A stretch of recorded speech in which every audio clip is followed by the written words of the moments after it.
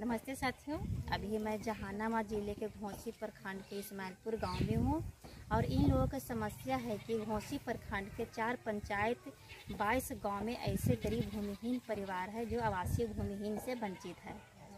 अभियान बसेरा क्रय नीति अभियान के तहत ऐसे गरीब भूमिहीन परिवार को पाँच डिसमिल ज़मीन देने को बिहार सरकार ने अभियान चलाई है।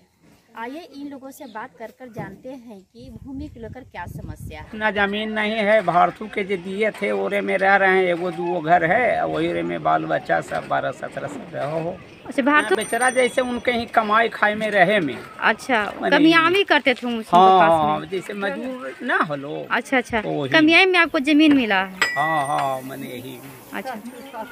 ऐसे ही हाँ। अच्छा तो आप उनको के यहाँ काम करते थे तो उन्होंने आपको ज़मीन दिए हैं? हाँ। हाँ जी। घर दुहार के चलते समस्या है यार जगह के चलते यार अच्छा आपके पास में जगह नहीं है? ना सर है ना तुम जगह लेल का है अच्छा। तो वाला ने हाले। आप के ज़मीन आप रहे हैं? हाँ तब तैयार कैले हैं तो हमनी कुछ करिए। हमनी रख दी यार अच्छा तो आपको के लड़कन कितना है?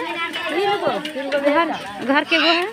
घर सब देखो ना अभी ना बता रहा दू गो है ना कह रही इनके दू गो है।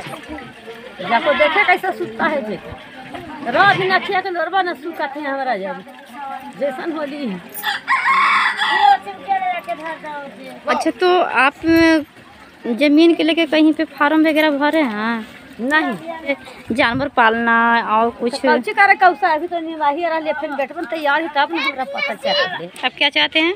जगह मैं वीडियो देखने वाले दर्शकों से अपील करती हूँ कि जो भी इस वीडियो को देख रहे हैं वो ज़्यादा से ज़्यादा शेयर करें लाइक करें ताकि ये वीडियो ऊँचे पदाधिकारी तक पहुँचे और ये समस्या को जल्द से जल्द बदलाव आ सके। मैं यहाँ से समुदाय संवाददाता जिला जहानाबाद बिहार से इंडिया अनहट